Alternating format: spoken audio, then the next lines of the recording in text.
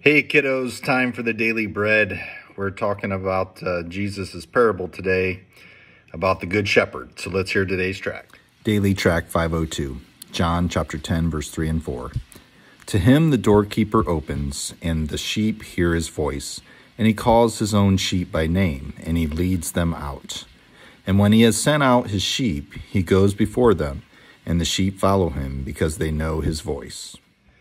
Kids, so here we're Jesus is talking about the him being the good shepherd, right? And we are his sheep and we hear his voice. Um, part of that's through God's word, right? And he calls on us and he knows us by name and he leads us out. And part of leading us out is is uh, leading us out into the world, right? And he goes before us. And whenever we share his his message, he's a, he's a part of that. He's he's with us um, as we share his message, and then he does the work on other people, and and uh, you know they become his sheep at that point.